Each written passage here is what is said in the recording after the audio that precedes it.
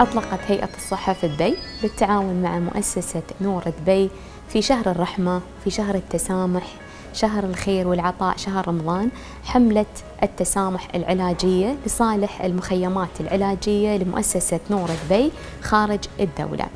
المخيم بيكون طبعا على مدة تقريبا خمسة أيام. المستهدف 5000 مريض بيستفيدون من هذا المبلغ آه، من خلال خدمات تشخيصية خدمات علاجية وهم يستهدفون أنهم يسوون تقريبا 500 عملية جراحية للمحتاجين. وكذلك بيوفرون ألف نظارة طبية. فنحن في مؤسسة دبي للرعاية الصحية نشجع كل الموظفين أنهم يشاركون أنهم يساهمون. حتى لو بأي مبلغ طبعا في رسائل نصية ممكن أنتم من خلالها تشاركون وعلى الشاشة بتشوفون الأرقام عن طريق اتصالات تدو وبتشوفون كيف أن أنتم ممكن تتبرعون.